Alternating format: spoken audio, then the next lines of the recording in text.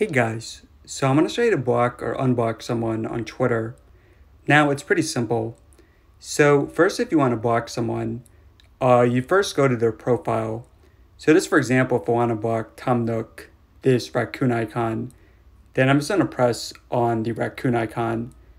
So once you're on the profile, then in the top right corner you guys should see a circle with three dots.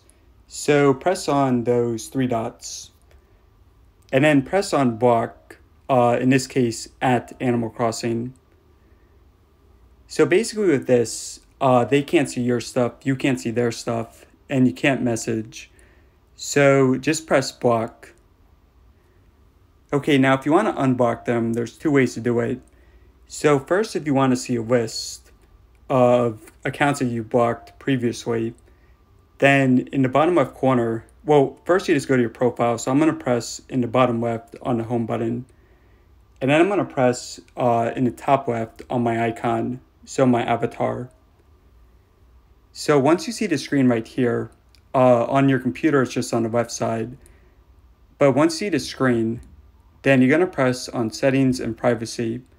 On computer on, on your computer you press more and then press settings and privacy.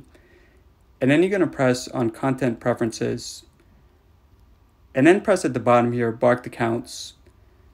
So now this red icon that says blocked, if you press that, now they're unblocked.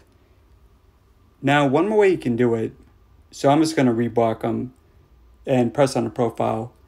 So one more way is you can press from the profile, you can press in the top right corner or towards the top right, press on blocked. So again, press on that red icon and then just confirm it. So now they're unblocked. Alright guys, hopefully this helped out.